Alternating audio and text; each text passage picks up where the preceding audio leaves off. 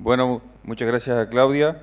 Eh, ahora invitamos al ingeniero Gonzalo Rovira para que nos hable un poco de la, la productividad en la región este, eh, optimizando cultivares, manejo y ambientes, o sea, un poco aterrizando lo que, lo que vemos en el campo de todo lo que se ha hablado. Eh, buenos días a todos. Este, primero, los, los, agradecimientos de rigor. Este, agradecerle a INIA en el, nombre de, de, José Terra y, de Fernando Pérez de Vida por, la invitación que me hicieron a, participar de esta jornada. Jornada que hace 38 años este, consecutivos que concurrimos, así que se, imaginarán el, enorme honor que es para mí hoy estar de este lado de, de la jornada. Así que bueno, eh, hoy no, nos toca este, presentar... Apa,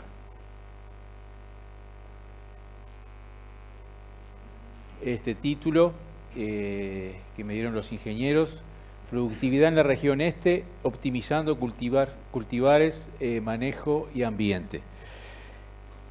Que es un poco la idea, es después de, estas tres eh, excelentes exposiciones, este, con muchos datos de investigación, de la ciencia, la tarea que nos encomendaron es tratar de bajar, de, usar todo, todo lo que es la ciencia, para solucionar eh, temas eh, prácticos de chacra, es como cómo ensamblamos este, eso.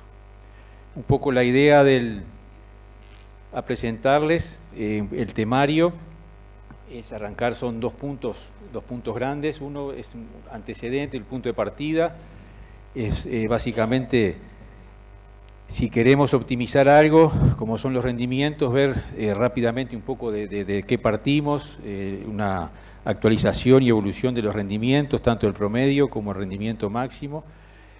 Y después repasar rápidamente algunos conceptos básicos, este, fundamentales, en los que se respaldan esos incrementos de, de, rendimiento.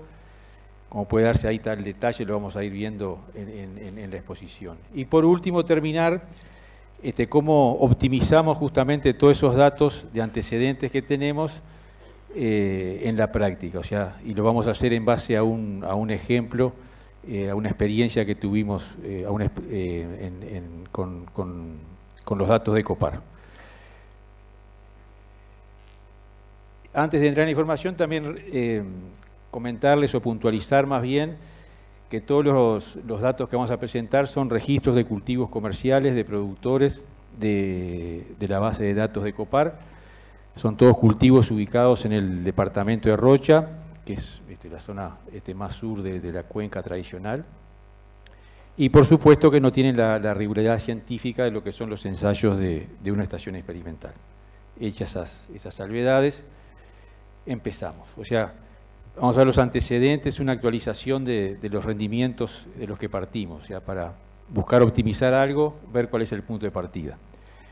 Ahí ustedes tienen este, una gráfica en la que relacionamos rendimiento en un periodo de, de, de zafras, de, de, 19 zafras, y vemos que en ese periodo se nos da una, un ajuste este, muy lineal, al ser un periodo largo, por más que tengamos este, algunas situaciones de, bajo rendimiento, no, no, no cambia la tendencia de que en la medida que van pasando las zafras eh, a nivel de los productores de Copar, hemos ido aumentando los rendimientos. Arrancamos la serie con prácticamente por debajo de 120 bolsas, 117 bolsas y estamos terminando muy cerca, coqueteando cerca de las 170 bolsas. En ese periodo hemos crecido eh, a razón de 140, 142 kilos por hectárea y por año, que son muy cercanas las 3 bolsas por hectárea y por año, que si lo llevamos a, una tasa, a, porcentaje, nos da que hemos tenido en el promedio un 2% de crecimiento anual.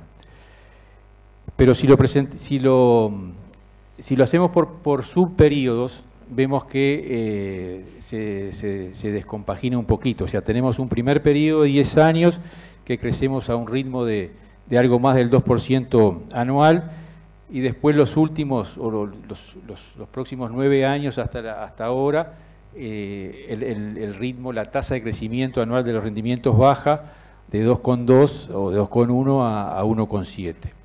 O sea, eso es, es, eh, la, la primera descripción. A esta gráfica le sumamos ahora lo que son eh, los rendimientos máximos, o sea, en el mismo periodo de los 19 años, cuáles fueron los rendimientos máximos que obtuvieron en cada zafra los productores de Copar. Y lo, ponemos este, junto con los rendimientos medios. Ahí ustedes ven que prácticamente quedan este, unas gráficas paralelas. Eh, los rendimientos máximos también crecen en el mismo periodo, crecen a una tasa inferior, a una tasa de un 1, 1,2, este, pero eh, se mantiene. O sea que con esto, ¿qué queremos decir con esto?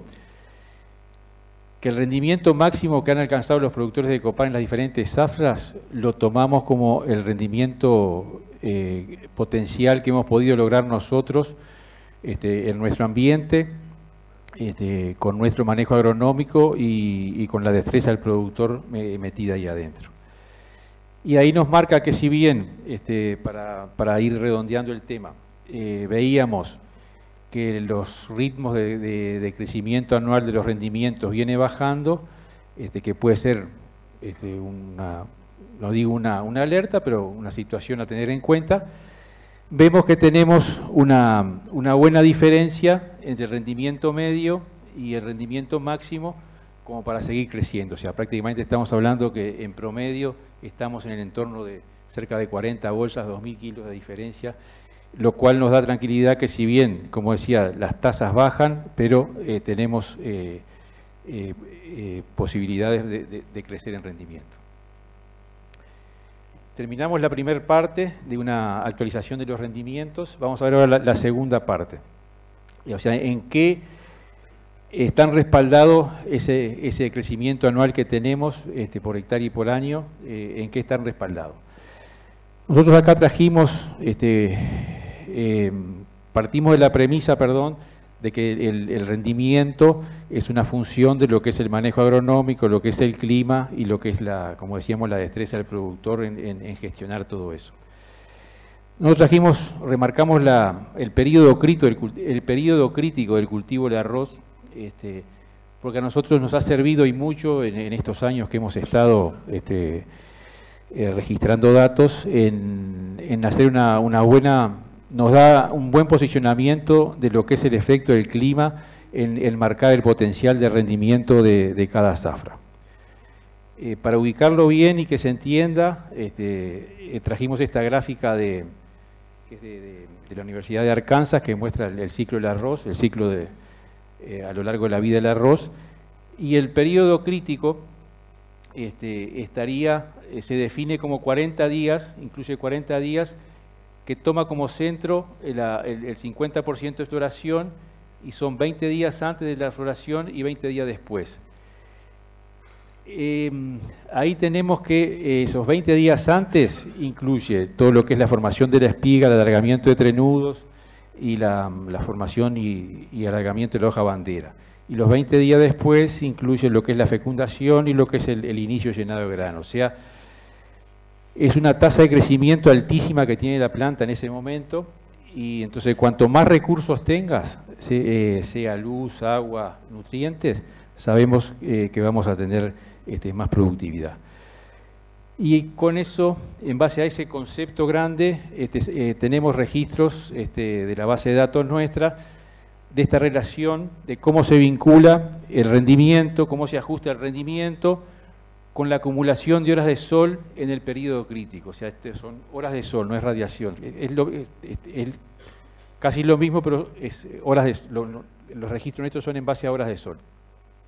También vemos que en un periodo largo, este, como de 11 años, si mal no recuerdo, se ajusta este, bastante lineal, que en la medida que en cada zafra este, nos acumula más horas de sol en el periodo crítico que definimos recién, este, tenemos más rendimiento.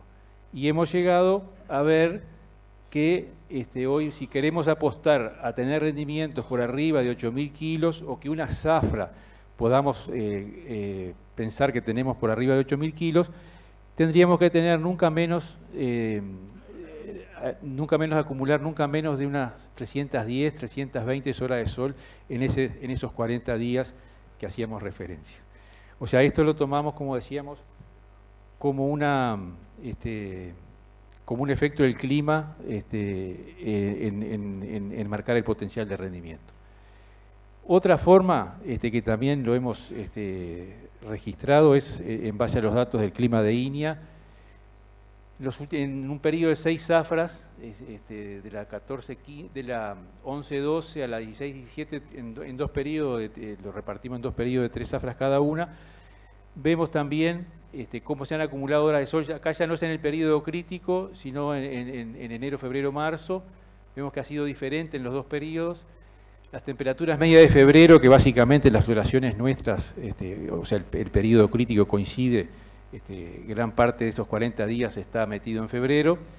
Vemos las temperaturas medias de febrero como fue en este periodo, en estas tres zafras y en esta, un 8,5% más y vemos lo que nos rindieron los cultivos en estas, eh, en estas tres zafras y en esto, un 10% más. O sea, es otra forma de, ver este, cómo eh, el clima, de cierta forma, eh, en, este, en esas tres zafras nos ha jugado a favor de, lo, de mejorar los rendimientos. Entonces, viendo la importancia que tiene la, la, acumulación de la de sol, la temperatura, en fijar el potencial de rendimiento de cada año, ¿Qué prácticas de manejo eh, han tenido incidencia en nuestros cultivos para que nuestros cultivos hagan uso de la mayor radiación del año? Y bueno, básicamente es la fecha de siembra y el ciclo de las variedades. O sea que lo que tenemos que lograr en cada zafra es una estrecha coincidencia del ciclo de cada variedad, o sea que ubique su periodo crítico en el momento del año de mayor probabilidad de ocurrencia de buenos valores de las variables climáticas. Eso es un poco el, el, resumen de cómo vemos nosotros este, la incidencia del clima en, respaldar esos, rendimientos. Y por último, para cerrar esta, esta segunda fase de, antecedentes, es la parte de cómo inciden eh, los manejos agronómicos, eh, en cómo han incidido los manejos agronómicos que hemos realizado en ese periodo eh, de, de 19 años. Acá vemos de vuelta, incluimos la, la, gráfica, la, línea de los rendimientos máximo, la línea de rendimiento promedio. Y le agregamos eh, la línea de esta celestita, es el consumo de urea, es, kilos de urea por hectárea, y estas dos acá este es el, porcentaje, es eh, los porcentaje del área asignada a, variedades de, alto, de alta productividad.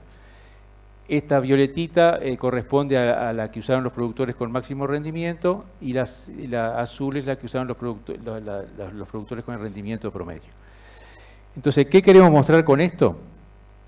Que si nosotros nos paramos eh, en los últimos, las últimas cinco zafras, Vemos que los rendimientos máximos eh, han superado las 200 bolsas, los 10.000 kilos, y los rendimientos medios han superado y se han estabilizado arriba de los 8.000 kilos.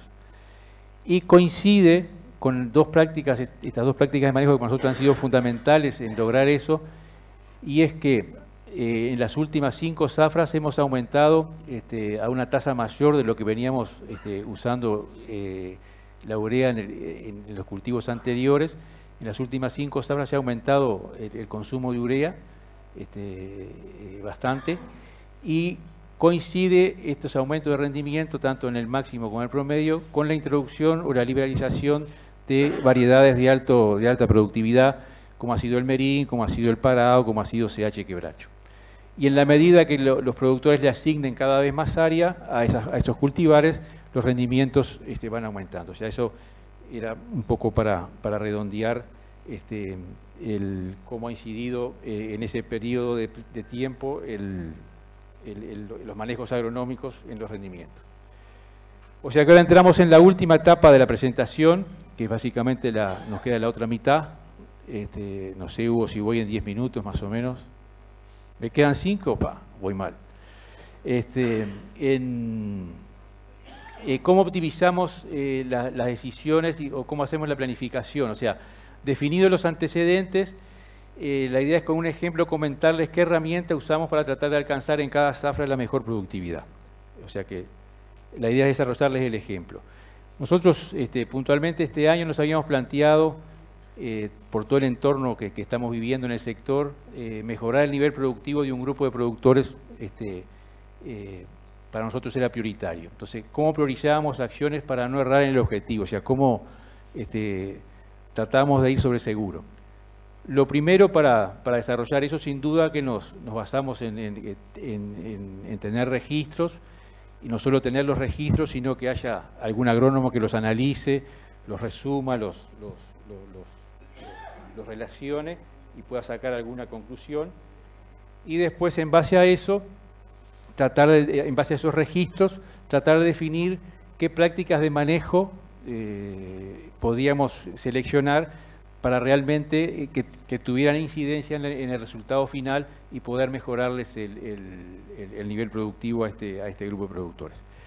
Lo primero que hicimos este, fue tratar de eh, comparar dos niveles productivos, dos estratos productivos, o sea, tratamos de seleccionar los, productores con el mayor este, nivel productivo en cinco años y compararlos con eh, los, productores este, con el, nivel eh, inferior de producción de esos cinco años y comparar eso, esas prácticas de manejo entre ambos grupos. ¿Cómo seleccionamos? En base a la distribución normal que de, este, cualquier población de, datos, eh, el promedio más un desvío estándar, seleccionamos la parte de arriba de producción y el promedio menos un desvío estándar, las producciones inferiores. Ahí de cada uno de los cinco años sacamos este, las chacras que estaban acá y las chacras que estaban acá, hicimos el promedio. Y nos dio este eh, estos valores de las prácticas de manejo que seleccionamos nosotros en base a, los registros que podían ser más incidentes en el resultado final.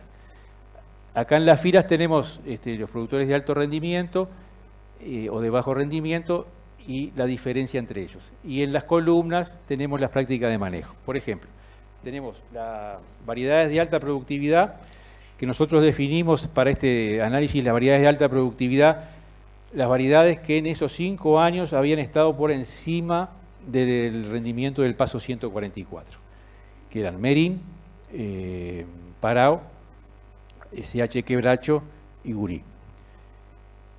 Em, son estas. O sea, ¿qué, porcentaje, dentro de cada uno de los, de los grupos, qué porcentaje le asignaban a, plantar ese grupo de variedades de alto rendimiento? Un grupo y otro. Vemos que el grupo de alto rendimiento le asignaba casi el 80% del área a ese grupo de variedades y el de bajo rendimiento le asignaba solamente un 25% de ese grupo de variedades. Otro dato interesante que nos dio esto de las variedades es que el grupo de alto rendimiento plantaba el, 42% de su área con variedad de ciclo largo, el 34% de su área con variedad de ciclo corto y el 20, poquito por ciento, 23% de, con ciclo intermedio. Y el, estrato de bajo rendimiento plantaba el 72% de su área con variedad de ciclo largo y el 20 poco por ciento del área con variedad de ciclo corto y, y un 3% del área con variedad de ciclo medio. Es decir, se cargaban mucho de variedad de ciclo largo y después capaz que no le podían cumplir con el manejo en fecha y en forma. Las otras prácticas de manejo que, tuvimos fue mm, eh, fertilización nitrogenada, que lo basamos en, urea total por un lado, y después se nos ocurrió poner urea al macollaje. Este, la diferencia entre cada uno de los grupos, vemos también que el estrato de alto rendimiento fertiliza este, bastante más, tanto en urea total en el cultivo y la urea del macollaje, que es lo que hace el estrato de, rendimiento bajo.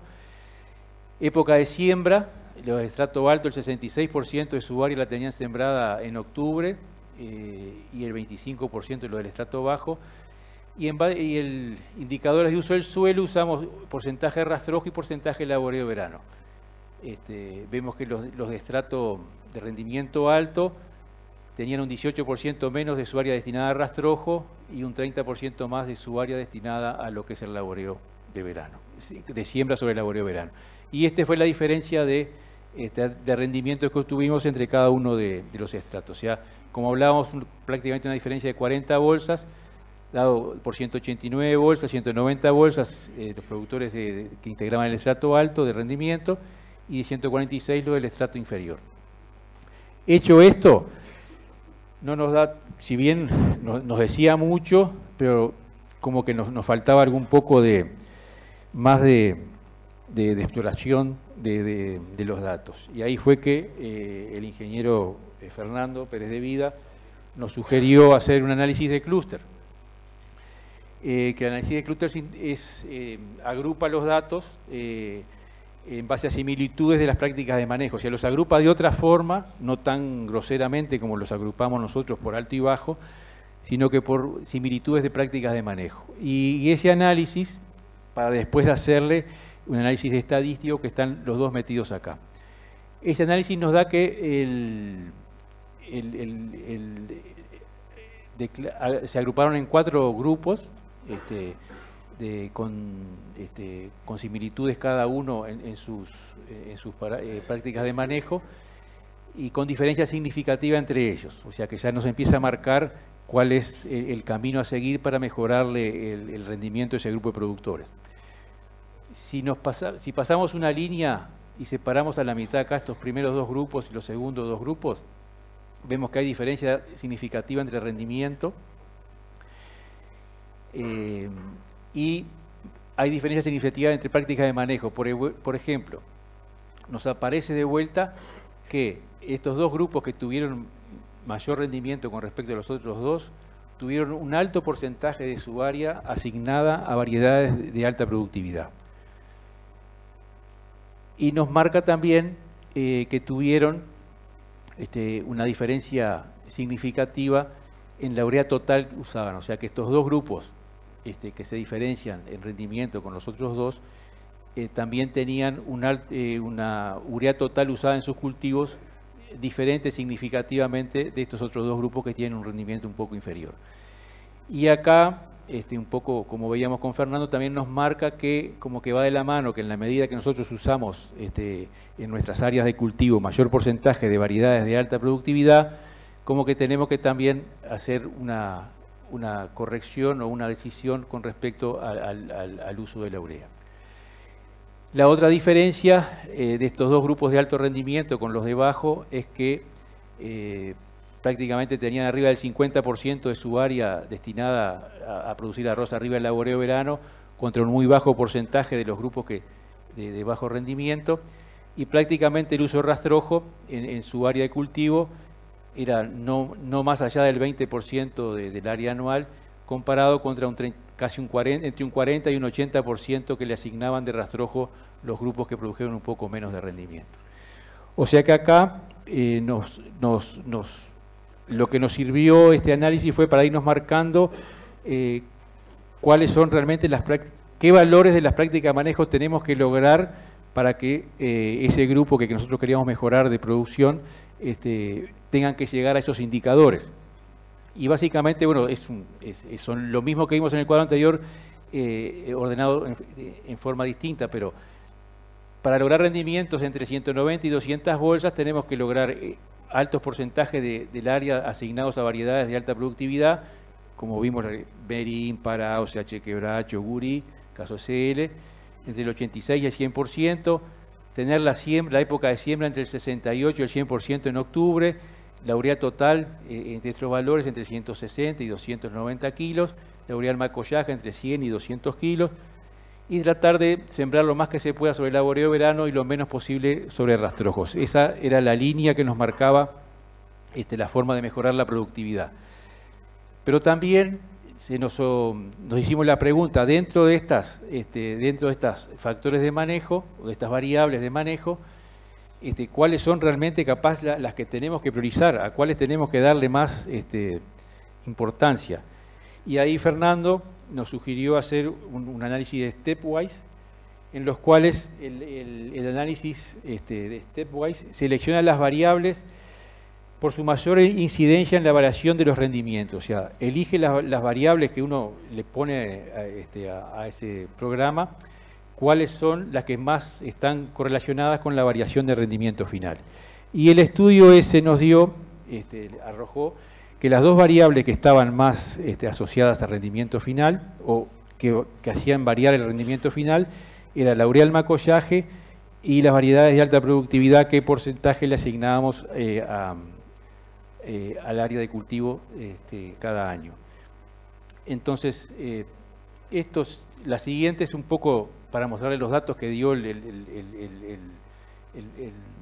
estudio ese, y simplemente con estos datos de significancia que hay acá, este, dentro eh, este, este, parámetro, el beta estandarizado, como nos explicaba Fernando, nos indica que dentro de las dos variables que, seleccionaba el stepwise, la que más, dentro de esas dos, las más importantes era cómo fertilizábamos nosotros el cultivo al, macollaje con, urea.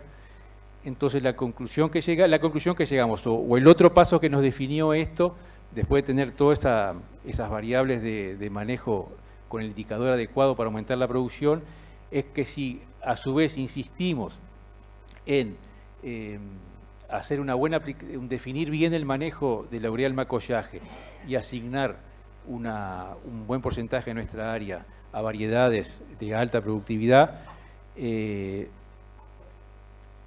tenemos poco riesgo de equivocarnos en nuestra decisión de poder lograr este, ese aumento de, rendimiento con ese grupo de, productores.